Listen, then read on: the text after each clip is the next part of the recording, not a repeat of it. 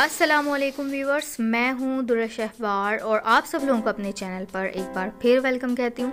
तो उम्मीद है कि आप सब लोग ठीक ठाक होंगे खैर खैरियत से होंगे।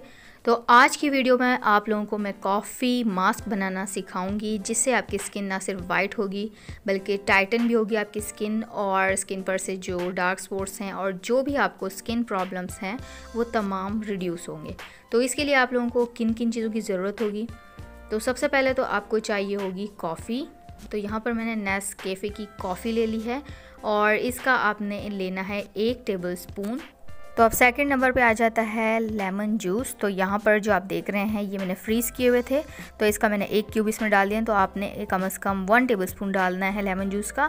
थर्ड नंबर पे आपने मिल्क लेना है फ्रेश मिल्क वो भी एक टेबल स्पून फोर्थ नंबर पे आ जाता है मुल्तानी मट्टी तो आपने हाफ़ टेबल स्पून लेना है, यानी कि वन टीस्पून आपने तकरीबन लेना है और इसमें ऐड कर देना है.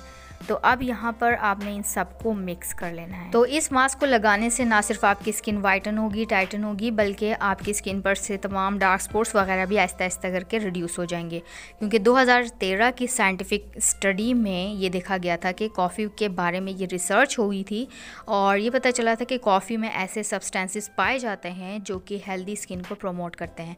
इसमें कैफिक एसिड एक एंटी होता है जो कि कॉलेजन को बूस्ट करता है और प्रीमे प्रीमेच्योर एजिंग सेल्स को रिड्यूस करता है। कॉफ़ी मास्क को चेहरे पर लगाने से एक फ़ायदा तो ये होता है कि अगर आपको स्वेलिंग होती है चेहरे पर, यानी कि पफीनेस होती है आइस के अराउंड या फिर अपर लिप्स पर तो ये बहुत ही हेल्पफुल होगा क्योंकि ये इन्फ्लेमेशन को रिड्यूस करता है और एक्नी को भी ये ट्रीट करता है।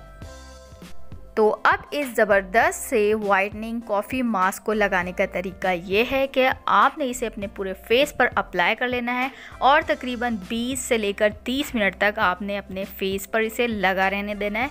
20 या 30 मिनट के बाद आप अपने फेस को सिर्फ़ और सिर्फ़ पानी से वॉश करना है। इसका जो बेस्ट टाइम है लगाने का वो रात का है तो आप इसे रात में अपने फेस पर लगाएँ और इसको जब आपने धो लेना है तो इसके बाद आपने किसी फेस वॉश से नहीं नहीं, धोना आपने इसी तरीके से सिर्फ़ सिंपल पानी से धो लेना है और फिर वॉश कर लेना है। सुबह उठ के आपने किसी अच्छे से फेस वॉश से धो लेना है तो इसका बेहतरीन रिज़ल्ट आपको फिर मिलेगा। इस फेस पैक को आप रोज़ाना भी लगा सकते हैं और हफ़्ते में दो से तीन मरतबा भी यूज़ कर सकते हैं।